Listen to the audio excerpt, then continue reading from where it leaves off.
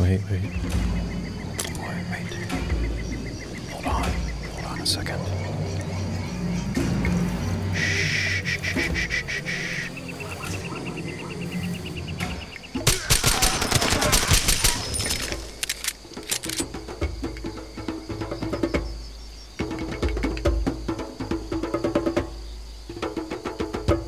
I, I totally forgot the Congo drums.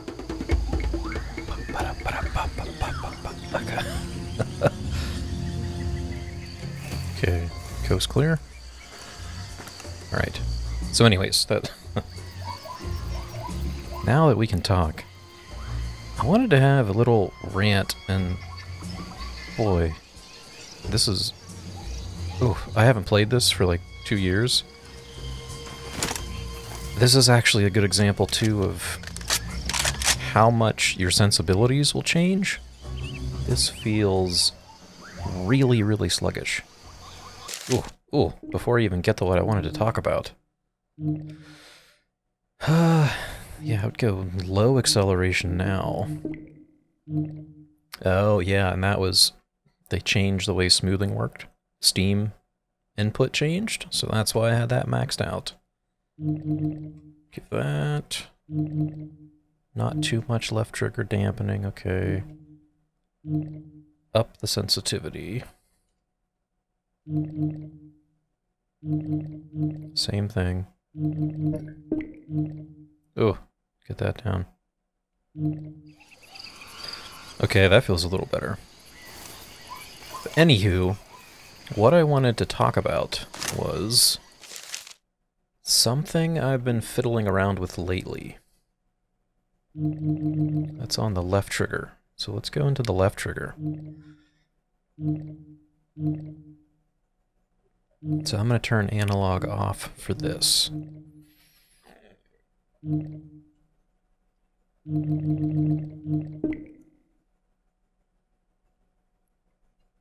So I'm going to go regular press X, long press down to one notch, left trigger. Haptics off. Haptics off. For the haptics, I'm going to go soft press, empty binding. Crank that up a little bit, maybe about there. Low haptics. Interruptible off, so this will all, this will be my haptic feedback. So alright. Shooting, aim, shoot, fast tap, reload. Now an easy way to tweak this out is like make this jump just for testing it.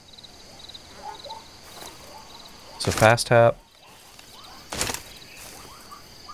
jump, aim, jump, jump. Like just to figure out what feels good. Let's go back. So I've, I've played around with trying to get soft presses to work. I, I've not been able to crack that, and it has never felt consistent, but doing this feels pretty dang good, and it's... I feel like it's pushing the context of the action more, because, you know, you'd be using your left hand like uh, my normal you're using the left hand anyways, so that fast tap feels pretty good, but I would make it a jump for testing because it's this soft pull point that is going to be the most important part. Like normally I would put that at like 2 because I wanted to trigger that soft pull immediately. But when I'm doing this method, I can make this fast pull it's, it's like it it's not kicking it in. So I found that putting the soft pull point usually for me it's like either here or even up a little bit. But that's I'm stressing that because that's really it's figuring out how you use the triggers. It, the soft pull point is where it becomes really really important for getting the right settings. So fast tap, I'm jumping. Yeah, I'm just to keep testing that. It's jumped every single time. Hold, go down sights. So okay, that's definitely my sweet spot. Go back in here. Let's make it X. So regular press, reload, long press. It, it really isn't a long press. That's kind of the beauty of it. You're giving it one notch. So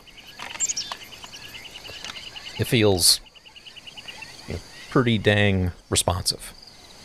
And I have actually used this in games where you dual wield as well, and it you don't notice a delay.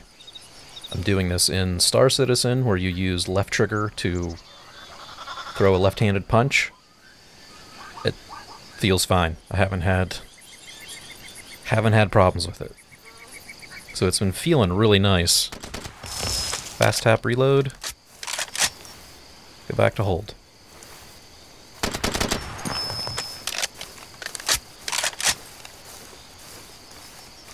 So yeah, I think I, I'm feeling, and that's kind of this whole thing started was like, boy, this was an old profile and it feels really weird from where I am now from using the controller and getting used to a lot of the things in Steam input. Like I used to put reload on a long press, full pull right trigger.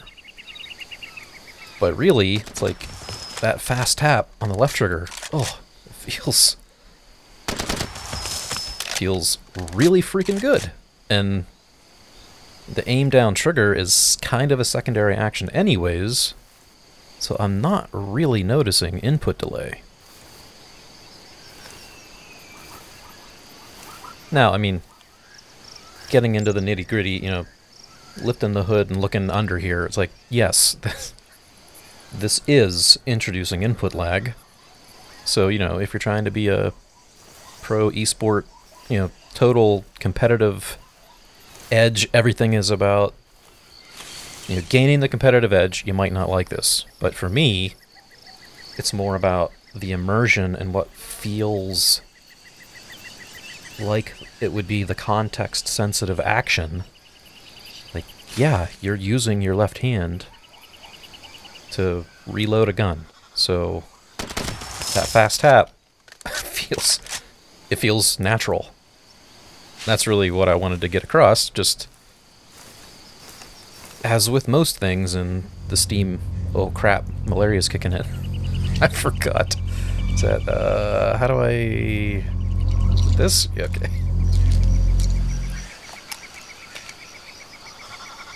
Oh, I freaking love this game. You start it. you, you start failing your entire your the sole reason that you're here, you fail it and you get malaria. It's it's great. I should start playing through this again. Yeah, I thought this would be a good one just to show that. Oh, it feels. I'm I'm digging it. It's it's a new standard for my profiles, I think. And even with this one, uh, left trigger is reverse. So let's test that.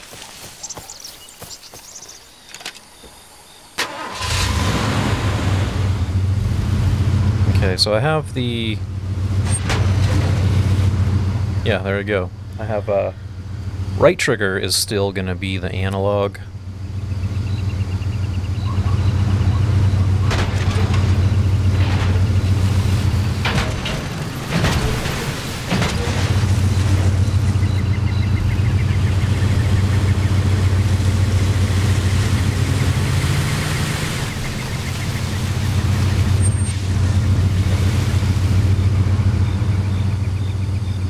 That fast tap, is that doing anything? No, it's not doing anything.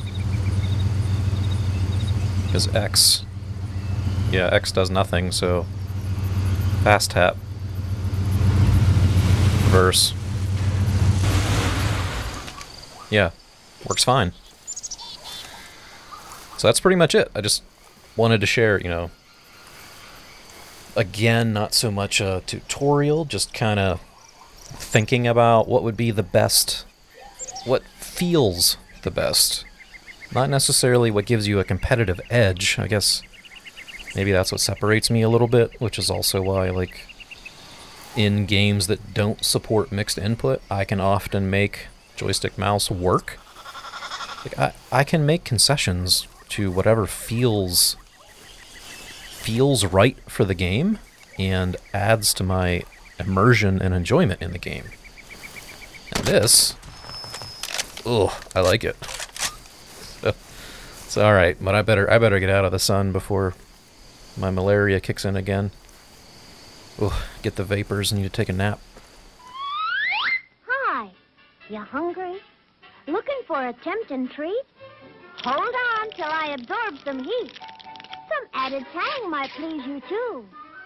I'll slide into an oven-fresh bun, and I'm ready for your eating fun. Why don't you try a juicy good hot dog? Mmm, delicious.